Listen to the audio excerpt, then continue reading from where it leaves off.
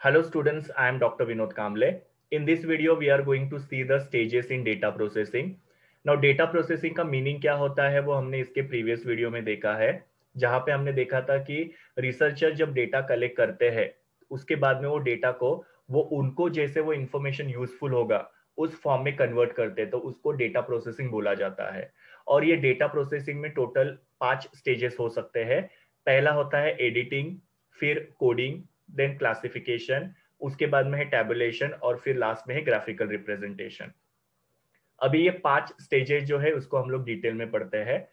सबसे पहला स्टेज होता है एडिटिंग नाउ एडिटिंग में क्या होता है कि रिसर्च का जो क्वेश्चन एरिया जो शेड्यूल होता है, उसको यहाँ पे एडिट किया जाता है। मतलब वो जो क्वेश्चन है, उसको चेक किया जाता है और उसके अंदर कोई एरर है क्या या कोई ओमिशन है क्या, वो डिटेक्ट करके करेक्ट किया जाता है।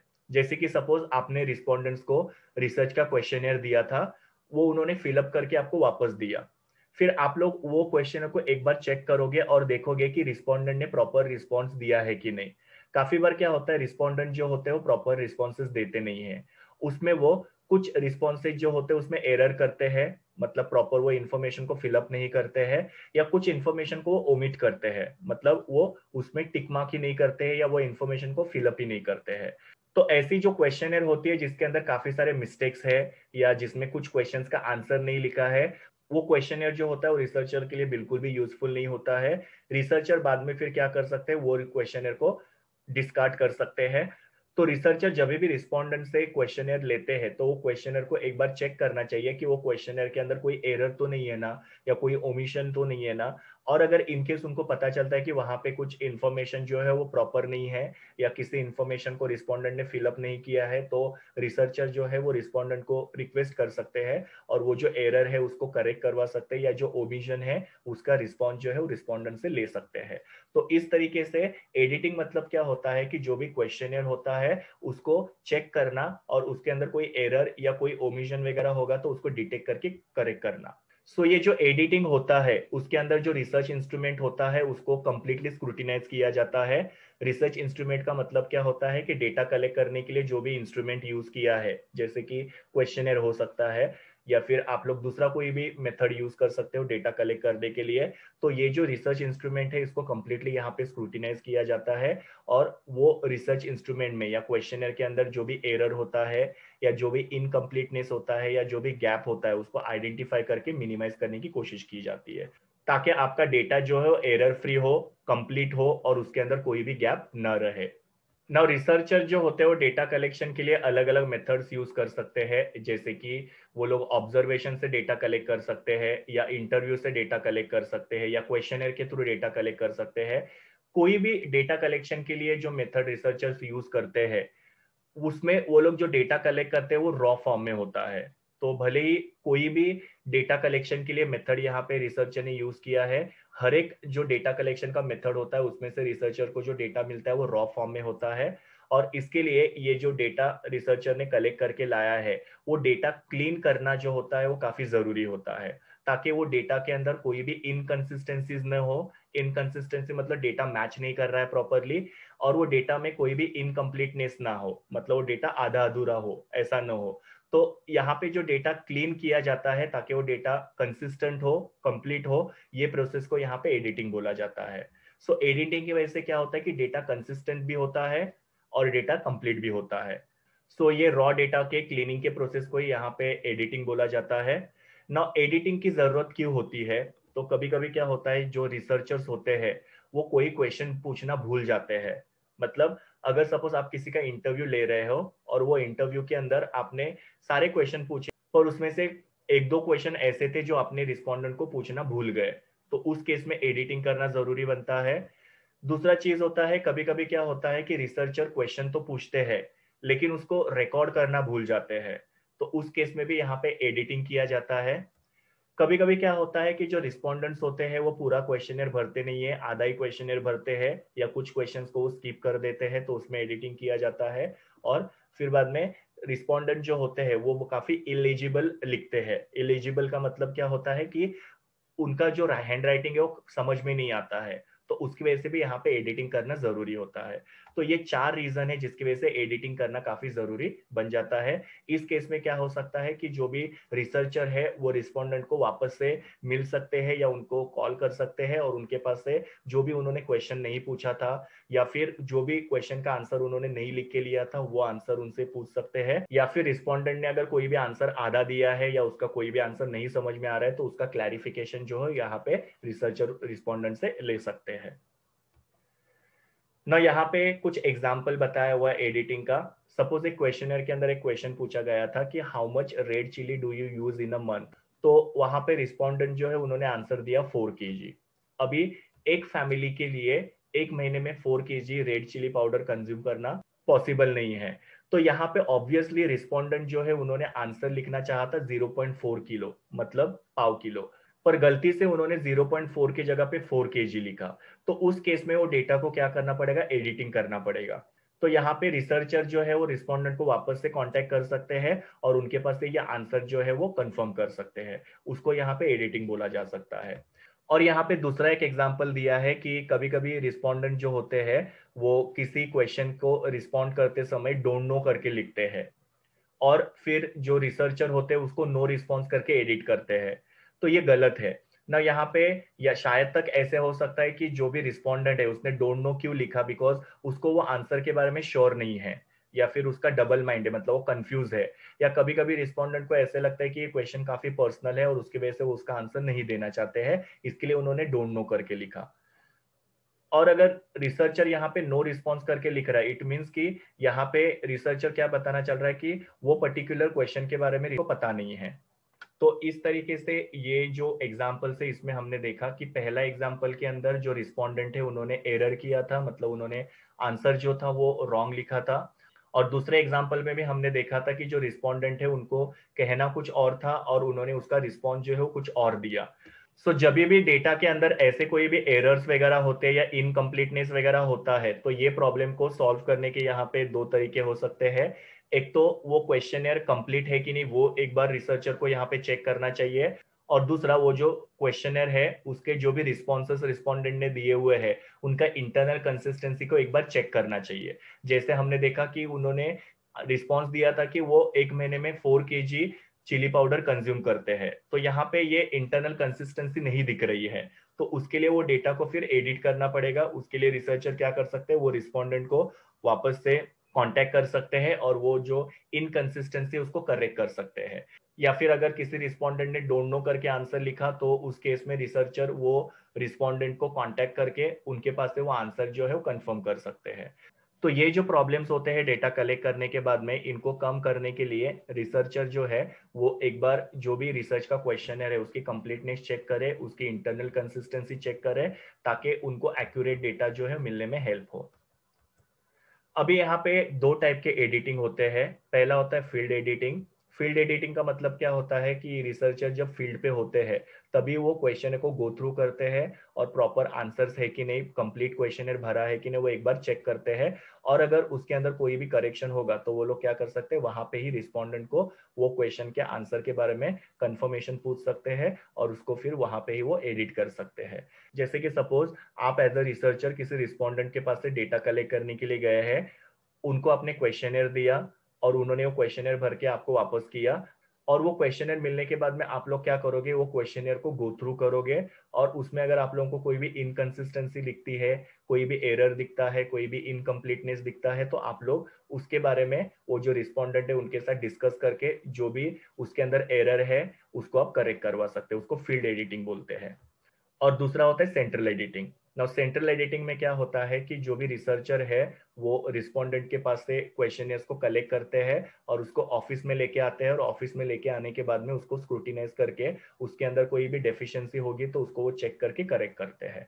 तो इस तरीके से दो टाइप का एडिटिंग होता है। पहला है फ़ील्ड एडिटिंग जहाँ पे रिसर्चर जो है, वो रिस्पोंडेंट से क्वेश्चन कलेक्ट करने के बाद में ऑन द स्पॉट उसको एडिटिंग करते हैं। और दूसरा सेंट्रल एडिटिंग जहाँ पे रिसर्चर जो है, वो सारे क्वेश्चन को ऑफ़िस में लेके आने के बाद में उसको एडिटिंग करते हैं। तो ये पहला स्टेज था डेटा प्रोसेसिंग का।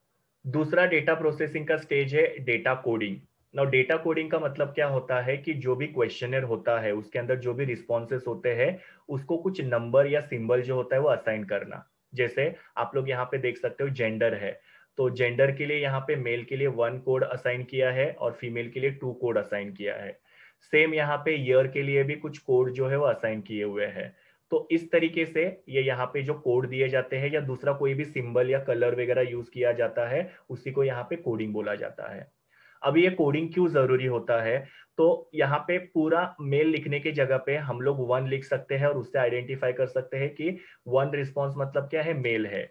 या पूरा फीमेल लिखने के जगह पे हम लोग यहाँ पे टू रिस्पॉन्स से फाइंड आउट कर सकते हैं कि टू मतलब क्या है? फीमेल है। या फिर यहाँ पे ग्रेजुएट स्टूडेंट ये पूरा लिखने के जगह पे यहाँ पे हम लोग उसको सिक्स नंबर असाइन कर सकते हैं तो हमको पता चलेगा कि ईयर ये क्वेश्चन के अंदर सिक्स का मतलब क्या हो गया? ग्रेजुएट स्टूडेंट नो, यहाँ पे कोडिंग जो होता है, वो ज़रूरी क्यों होता है? तो पहले कैसे होता था कि कंप्यूटर्स वगैरह नहीं होते थे या सॉफ्टवेयर वगैरह नहीं होते थे तो उस केस में क्या होता था कि रिसर्चर जो है, वो डेटा कलेक्ट करके लाते थे और वो डेटा को उनको एक पेज के ऊपर प्रेजेंट करना पड़ता था, क्योंकि वो डेटा को वो प्रॉपरली प्रोसेसिंग कर पाए और फिर वो डेटा का एनालिसिस कर पाए। तो बार बार वो रिस्पॉन्सेस को लिखना, वो रिसर्चर के लिए काफ़ी टाइम कंज्यूमिंग होता था। जैसे कि पहला क्वेश्चन है, उसके अंदर जेंडर में मेल पे टिक किया था तो रिसर्चर वहाँ पे मेल करके पेपर पे लिखते थे। फिर दूसरा क्वेश्चन ईयर के लिए है तो वहाँ पे ग्रेजुएट स्टूडेंट करके टिक किया हुआ है तो वहाँ पे वो रिसर्चर ग्रेजुएट स्टूडेंट करके लिखेंगे। तो इतना सब कुछ लिखने के जगह पे वो जो रिस्पॉन्डेंट्स है, वो सिंपली क्या करते थे, ये जो कोड नंबर है, वो लिखते थे। जैसे जेंडर के क्वेश्चन के लिए वन लिख दिया ईयर के लिए उन्होंने सिक्स लिख दिया। तो उसमें क्या हो रहा है रिसर्च का टाइम बच रहा है।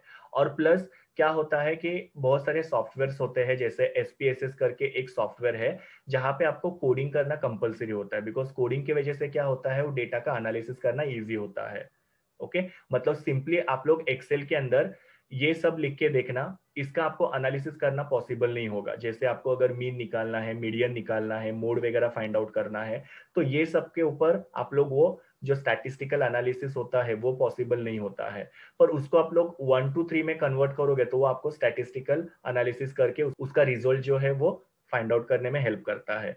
तो इस तरीके से कोडिंग की वजह से क्या हो रहा है कि रिसर्चर जो है, उनको बार बार वो रिस्पॉन्स जो है मेंशन नहीं करना पड़ेगा।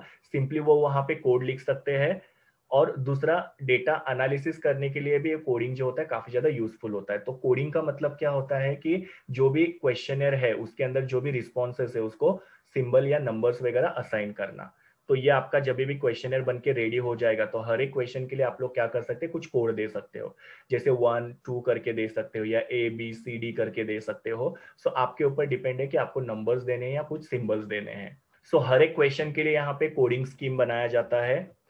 कोडिंग जो होता है, वो जैसे मैंने आप लोगों को बोला कि कुछ लेटर्स हो सकते हैं ए बी सी डी करके, या कुछ नंबर्स हो सकते हैं वन टू थ्री फोर करके, और कुछ लोग जो होते हैं कलर से भी कोडिंग कर सकते हैं। तो कोडिंग के यहाँ पे अलग अलग तरीके हो सकते हैं।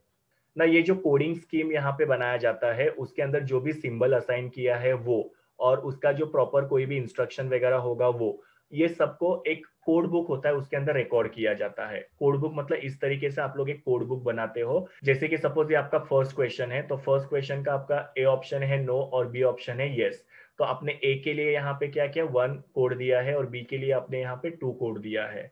फिर दूसरा क्वेश्चन है, वहाँ पे ए बी सी डी करके रिस्पॉन्सेस है। तो यहाँ पे ए के लिए वन बी के लिए टू सी के लिए थ्री और डी के लिए फोर तो इस तरीके से क्या हो रहा है कि ये जो हमने कोडिंग स्कीम बनाया है, उसके अंदर क्या सिंबल यूज़ किया है वो और अगर कोई इंस्ट्रक्शन होगा वो उसको रिसर्चर्स क्या करते हैं? एक कोड बुक होता है उसके अंदर मेंशन करते हैं। सो so, हर एक जो वेरिएबल है या हर एक जो रिस्पॉन्स है उसके लिए यहाँ पे क्या किया है? कुछ कोड नंबर असाइन किया हुआ है। अगर सपोज़ ये डेटा को हम लोग को कंप्यूटर के अंदर शिफ्ट करना है या एक्सेल के अंदर अगर हम लोग को ये डेटा को फ़ीड करना है तो वहाँ पे फिर क्या होता है? ये कोड बुक काफ़ी ज़्यादा यूजफुल होता है। जैसे कि एक्सेल के अंदर हम लोग ये पूरा रिस्पॉन्स नहीं लिखेंगे। हम लोग सिर्फ़ वहाँ पे क्या करेंगे? वन और टू करके लिखेंगे। तो वन और टू से हमको पता चलेगा कि वन का मतलब है नो और टू का मतलब है यस तो वहाँ पे हम लोग को पूरे के पूरे सेंटेंसेस जो है कंप्यूटर में मेंशन करना नहीं पड़ेगा। हम वहाँ पे सिर्फ़ कोड को मेंशन करेंगे और अगर हम लोग को कुछ कंफ्यूजन हुआ तो ये कोड बुक को हम लोग यहाँ पे रिफर कर सकते हैं और हमको फिर पता चलेगा कि कौन सा क्वेश्चन है और उसका जो कोड हमने असाइन किया वो कोड का मतलब क्या है।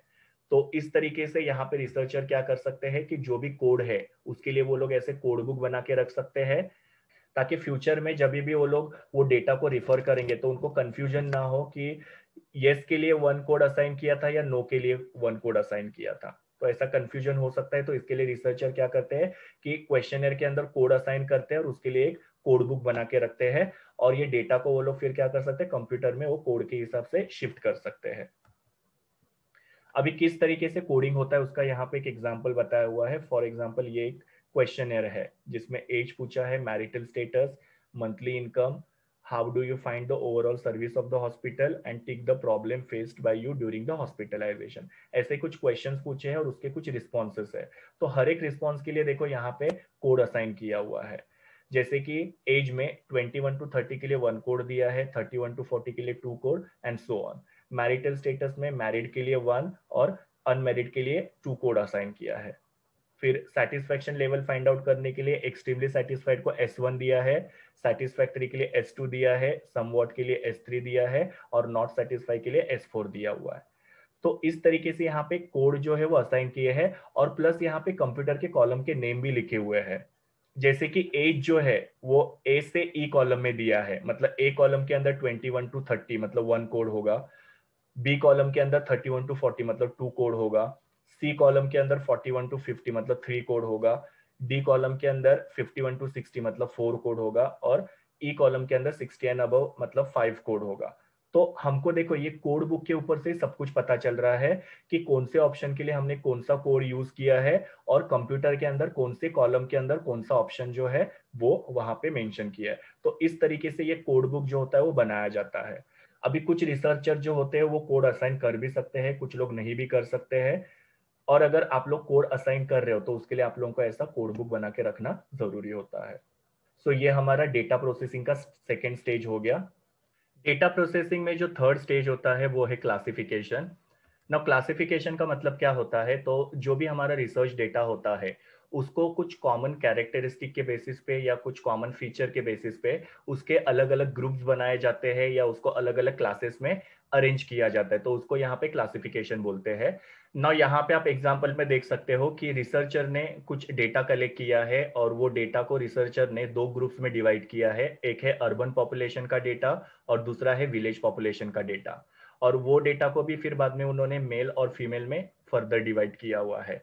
तो यहाँ पे क्या हुआ है कि कुछ कॉमन कैरेक्टरिस्टिक के बेसिस पे ये ग्रुप्स बनाए हैं, जैसे ये अर्बन पॉपुलेशन है। तो अर्बन पॉपुलेशन होंगे तो ऑब्वियसली उनके कैरेक्टरिस्टिक थोड़े बहुत सेम होंगे। ये विलेज पॉपुलेशन है तो इनके कैरेक्टरिस्टिक सेम होंगे। तो इस तरीके से कुछ कॉमन कैरेक्टरिस्टिक के बेसिस पे रिसर्चर ने यहाँ पे दो ग्रुप्स बनाए हैं, या दो क्लासेस में ये डेटा को अरेंज किया हुआ है, इसी को यहाँ पे क्लासिफिकेशन बोलते हैं। जब भी डेटा रॉ होता है तो वो डेटा अंडरस्टैंड करना थोड़ा सा डिफ़िकल्ट होता है, उसको इतना इजीली अंडरस्टैंड नहीं किया जा सकता है और प्लस वो डेटा का फर्दर एनालिसिस और इंटरप्रिटेशन करना डिफ़िकल्ट होता है। जैसे कि आपने किसी क्वेश्चनर फॉर्म में डेटा कलेक्ट किया है तो जब तक आप वो डेटा को एक्सेल में या किसी सॉफ्टवेयर में फ़ीड नहीं करते हो, वो डेटा को आप एनालिसिस नहीं कर सकते हो। बिकॉज़ आपके पास जो पेपर के फॉर्म में डेटा है, उसको आपको कितने लोग हाँ बोल रहे हैं, कितने लोग ना बोल रहे हैं, या कितने लोग अर्बन के हैं, कितने लोग विलेज से बिलोंग करते हैं, ये आपको फाइंड आउट करना डिफ़िकल्ट हो जाएगा। या कितने लोग सेटिस्फाइड है, कितने लोग डिससेटिस्फाइड है, इसका एनालिसिस करना थोड़ा डिफ़िकल्ट होता है। तो रॉ डेटा जो होता है उसको अंडरस्टैंड करना भी डिफ़िकल्ट है प्लस रॉ डेटा का एनालिसिस करना और इंटरप्रिटेशन करना भी यहाँ पे पॉसिबल होता नहीं है। लेकिन जब क्लासिफिकेशन ऑफ़ डेटा किया जाता है तो उसकी वजह से यहाँ पे कंपैरिजन करना और एनालिसिस करना इजी हो जाता है। जैसे कि रिसर्चर ने यहाँ पे अर्बन पॉपुलेशन और विलेज पॉपुलेशन इस तरीके से डेटा को क्लासिफाई किया तो अर्बन पॉपुलेशन में कितने लोग सेटिस्फाइड है? विलेज में कितने लोग सेटिस्फाइड है, ये कंपेरिजन करना, ये एनालिसिस करना यहाँ पे इजी हो जाता है। तो रॉ डेटा जो होता है उसका एनालिसिस और इंटरप्रिटेशन करना डिफ़िकल्ट होता है, लेकिन जब डेटा को क्लासिफाई किया जाता है तो उसका इजीली यहाँ पे एनालिसिस करके इंटरप्रिटेशन किया जा सकता है। नाउ जो भी डेटा आप लोग कलेक्ट करते हो तो वो डेटा का जो पॉपुलेशन होता है, उसको आप अलग अलग तरीके से ग्रुपिंग कर सकते हो या क्लासिफाई कर सकते हो। जैसे हम लोग ने यहाँ पे एरिया के बेसिस पे देखा कि अर्बन और विलेज में पॉपुलेशन को डिवाइड किया है, उसी तरीके से जेंडर के बेसिस पे भी पॉपुलेशन को डिवाइड किया जा सकता है, जैसे यहाँ पे किया हुआ है ऑलरेडी मेल और फीमेल या एज के बेसिस पे पॉपुलेशन को यहाँ पे डिवाइड किया जा सकता है, जैसे कि ट्वेंटी से कम वाले एज फिर बाद में twenty one to thirty age then 31 to 40 age 41 to 50 so likewise age के बेसिस पे भी यहाँ पे पॉपुलेशन को क्लासिफाई किया जा सकता है। फिर मैरिटल स्टेटस जैसे कि married people unmarried people and then separated people तो इस तरीके से क्या हो सकता है? डेटा को यहाँ पे अलग अलग बेसिस पे ग्रुप किया जा सकता है या अलग अलग क्लासेस में उसको डिवाइड किया जा सकता है तो उसी को यहाँ पे क्लासिफिकेशन बोलते हैं। नाउ क्लासिफिकेशन के बेसिकली यहाँ पे दो तरीके होते हैं, जिसमें सबसे पहला है classification according to the attributes attributes का मतलब क्या होता है? कुछ क्वालिटीज के हिसाब से यहाँ पे पॉपुलेशन को डिवाइड किया जा सकता है। नाउ एट्रीब्यूट का मतलब क्या होता है? तो कोई क्वालिटीज तो यहाँ पे जो भी डेटा है, उसको क्वालिटी के हिसाब से डिवाइड किया जा सकता है। ना यहाँ पे डेटा जो होता है, वो या तो डिस्क्रिप्टिव हो सकता है या न्यूमरिकल हो सकता है। डिस्क्रिप्टिव का मतलब क्या होता है कि जैसे कि लिटरेसी हो गया जेंडर हो गया रिलीजन हो गया सेटिस्फेक्शन लेवल हो गया लाइकिंग हो गई लोगों की तो ये सब डिस्क्रिप्टिव डेटा है। मतलब ये नंबर के फॉर्म में नहीं है। और दूसरा होता है numerical data now numerical data मतलब क्या? जैसे कि नंबर फॉर्म में हो सकता है, जैसे वेट हो गया हाइट हो गया इनकम हो गया तो जो भी डेटा होता है वो डिस्क्रिप्टिव फॉर्म में हो सकता है या न्यूमरिकल फॉर्म में हो सकता है। डिस्क्रिप्टिव मतलब क्या? जहाँ पे नंबर्स नहीं होते हैं जैसे literacy gender religion liking satisfaction level ये सब डिस्क्रिप्टिव डेटा हो गया। और न्यूमरिकल डेटा मतलब क्या? जो नंबर के फॉर्म में होता है, जैसे कि वेट हाइट इनकम तो इस तरीके से डेटा यहाँ पे डिस्क्रिप्टिव या न्यूमरिकल हो सकता है। अभी हम लोग एट्रीब्यूट के हिसाब से कैसे फर्दर क्लासिफिकेशन होता है वो देखते हैं। तो यहाँ पे पहला हो सकता है सिंपल क्लासिफिकेशन जहाँ पे सिर्फ़ एक ही एट्रीब्यूट होता है। जैसे कि आप लोग यहाँ पे देख सकते हो कि एमबीए डिग्री तो कितने लोगों ने एमबीए डिग्री किया है?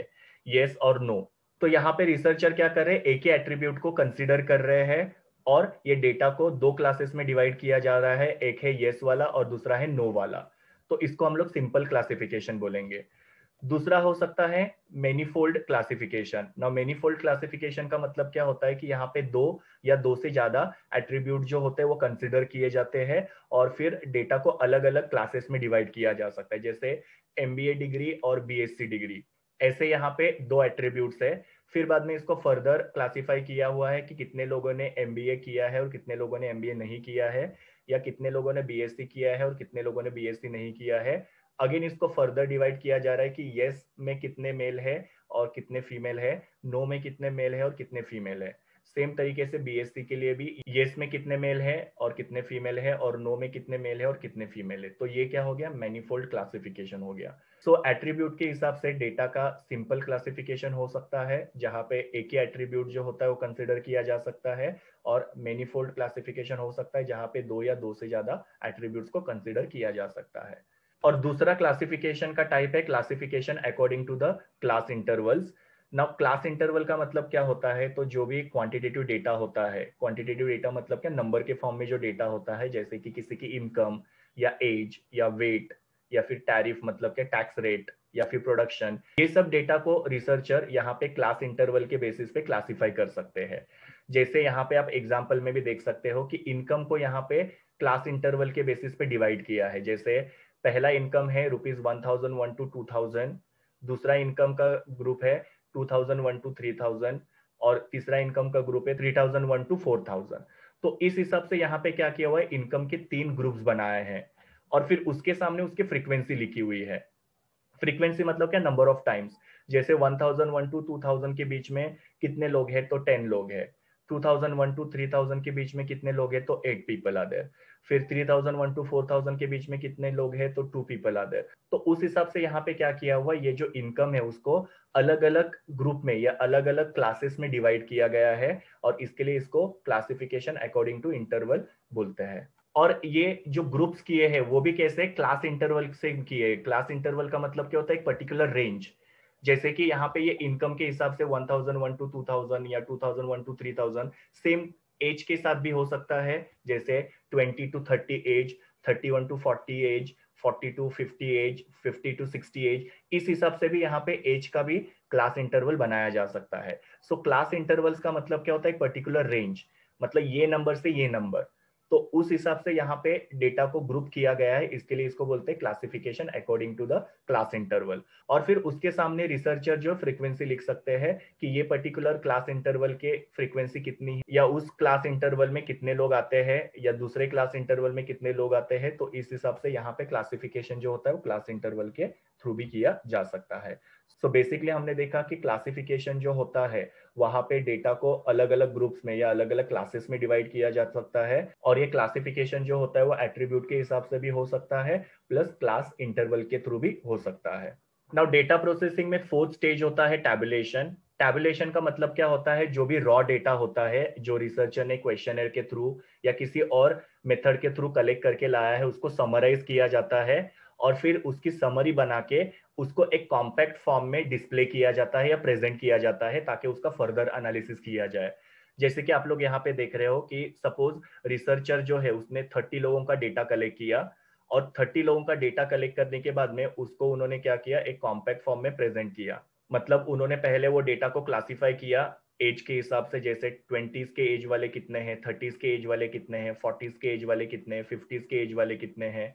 और फिर बाद में उन्होंने उसको मेल और फीमेल के हिसाब से भी डिवाइड किया और फिर बाद में उन्होंने देखा कि ट्वेंटीज के एज में फीमेल कितने हैं ट्वेंटीज के एज में मेल कितने हैं थर्टीज के एज में फीमेल कितने हैं थर्टीज के एज में मेल कितने हैं। इस हिसाब से उन्होंने क्या किया, ये डेटा को समराइज करके उसका एक कॉम्पैक्ट फॉर्म बनाया और फिर बाद में ये डेटा को वो क्या कर सकते हैं फर्दर एनालिसिस कर सकते हैं। अभी जब टैबुलेशन होता है तो यहाँ पे डेटा को कॉलम्स के हिसाब से और रो के हिसाब से अरेंज किया जाता है। तो टेबल में बेसिकली क्या होते हैं? कुछ कॉलम्स होते हैं और कुछ रोज होते हैं और उसमें वो डेटा को अरेंज किया जाता है।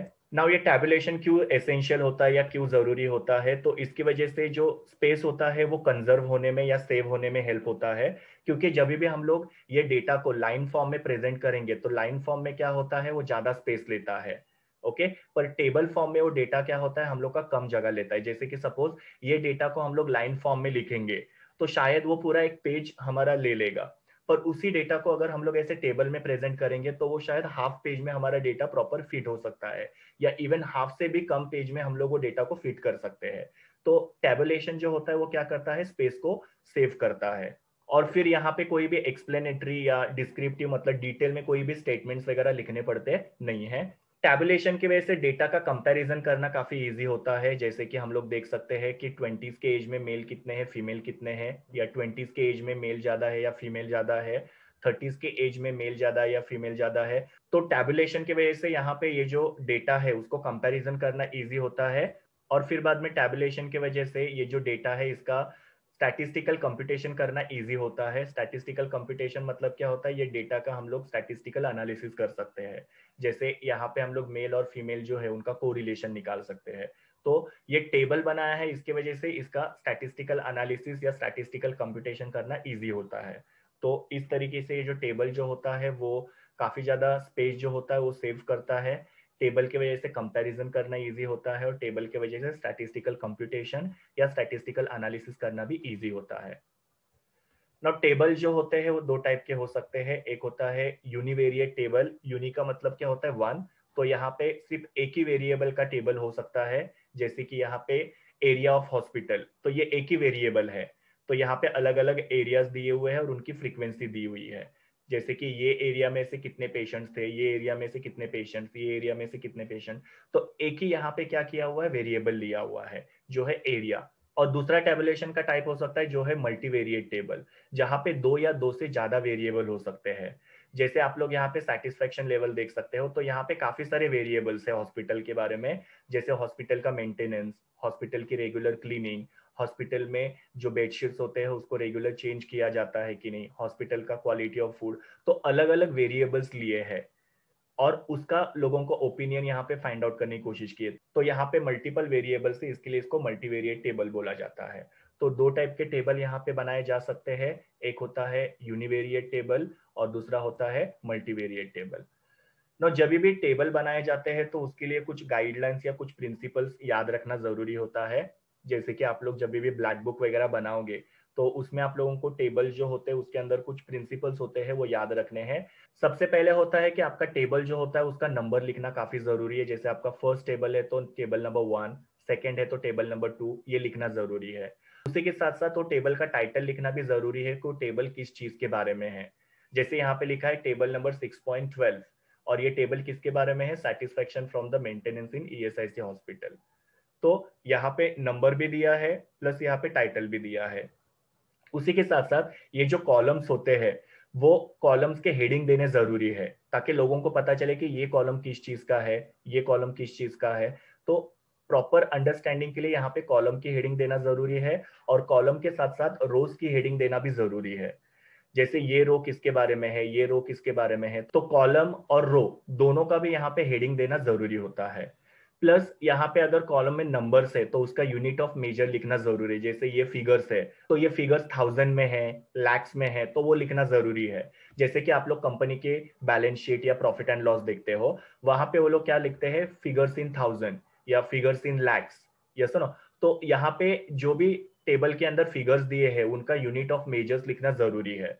और एक और ज़रूरी चीज़ होता है सोर्स ऑफ़ डेटा ये जो टेबल है, इसके अंदर जो आपने डेटा लिया हुआ है, वो डेटा कहाँ से लाया है? अगर वो प्राइमरी डेटा है तो प्राइमरी डेटा लिखना चाहिए।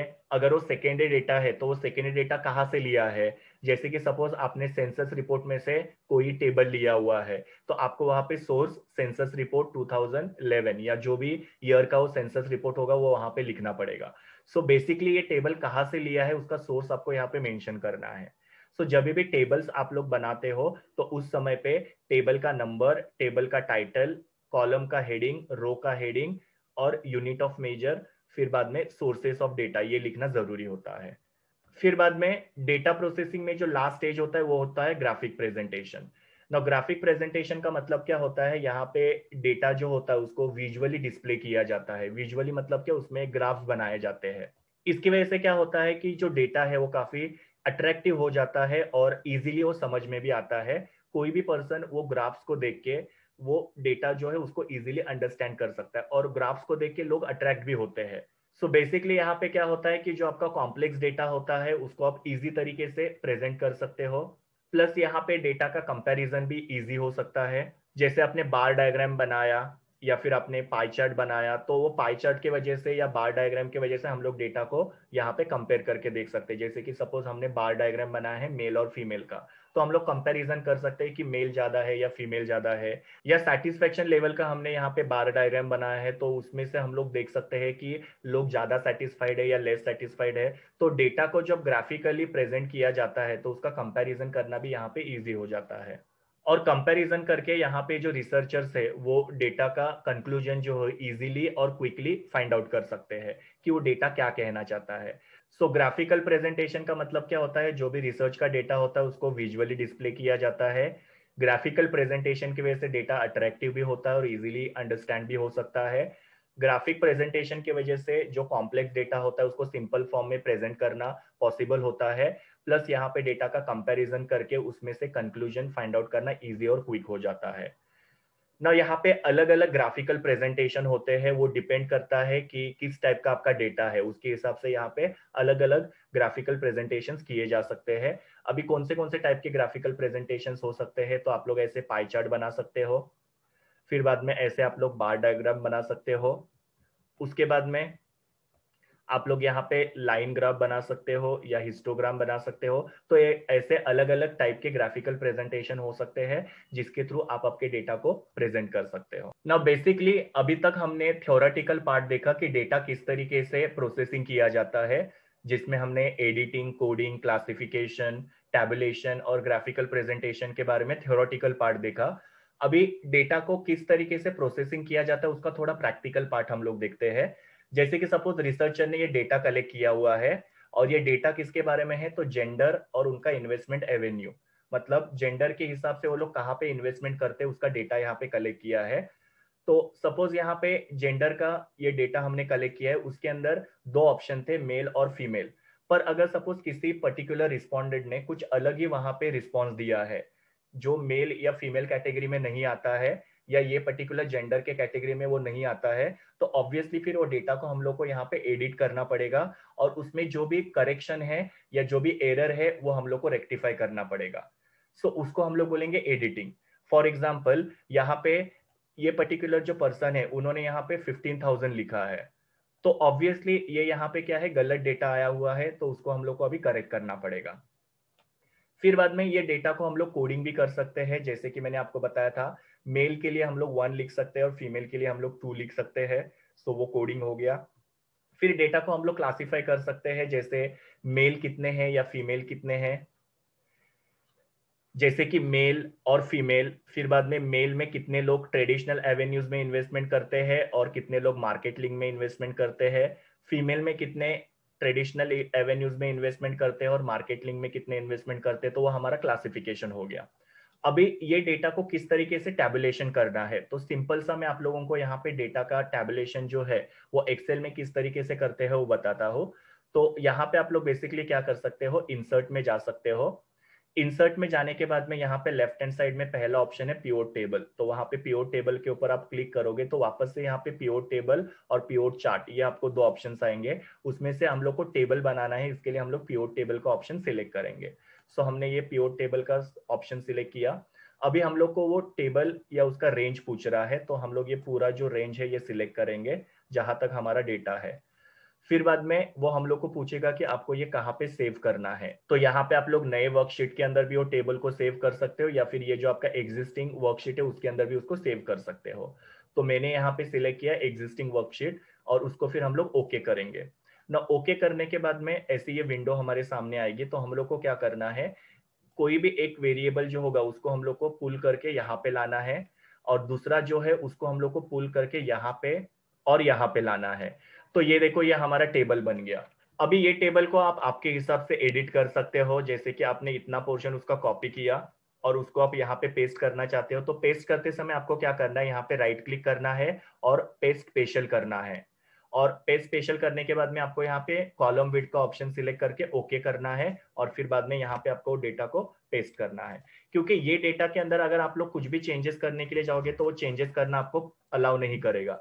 पर यहाँ पे अगर आप लोग कुछ भी चेंजेस करना चाहते हो तो कर सकते हो। जैसे आपको कलर देना है या आपको इसको सेंटर अलाइनमेंट करना है तो आप लोग इजीली कर सकते हो। लेकिन ये जो प्योर टेबल बना था, इसको हम लोग एडिटिंग करना मुश्किल होता है। तो इसके लिए हमेशा क्या करने का कि जब भी हम लोग प्योर टेबल बनाते हैं तो उसको हम लोग को कॉपी करके पेस्ट स्पेशल करके कॉलम विड सिलेक्ट करके, फिर बाद में हम लोग को डेटा को वहाँ पे पेस्ट करना है। और फिर जो भी हम लोग को यहाँ पे कलर्स वगैरह देना है, या जो भी हम लोग को इसमें एडिटिंग करना है, वो एडिटिंग हम लोग यहाँ पे इजिली कर सकते हैं।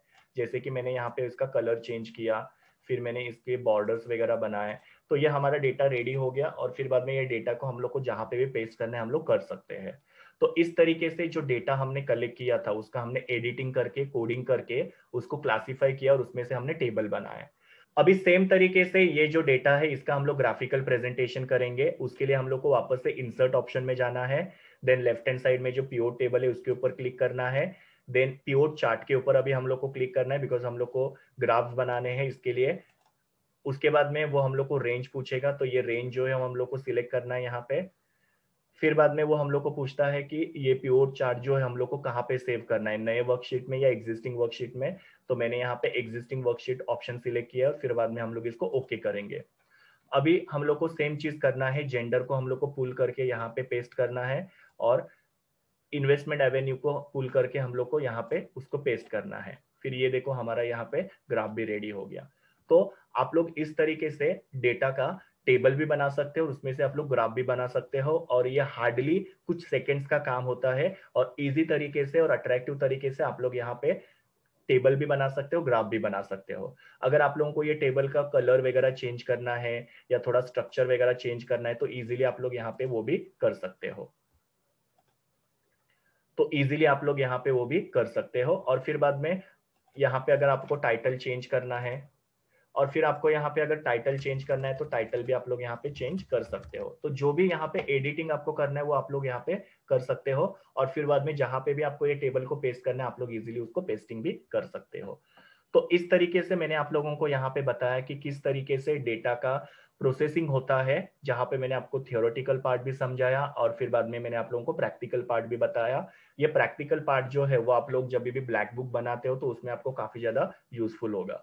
बिकॉज़ जो तरीका हम लोग ग्राफ बनाने के लिए या टेबल बनाने के लिए यूज़ करते हैं, वो काफ़ी टाइम कंज्यूमिंग होता है। लेकिन आई होप कि ये प्योर टेबल का जो मेथड आपको मैंने बताया, उसके थ्रू आप लोग ग्राफ और टेबल जो है, वो काफ़ी इजीली बना पाओगे और वो आपके और उसकी वजह से आपका काफ़ी सारा टाइम भी बच सकता है।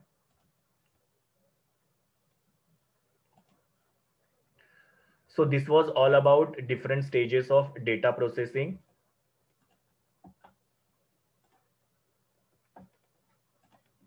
ये मेरे यू आर एल है जहाँ से मैंने इमेजेस लिए है। Thank you students please do like share comment and subscribe to my YouTube channel and also recommend my channel to your friends we will meet in the next video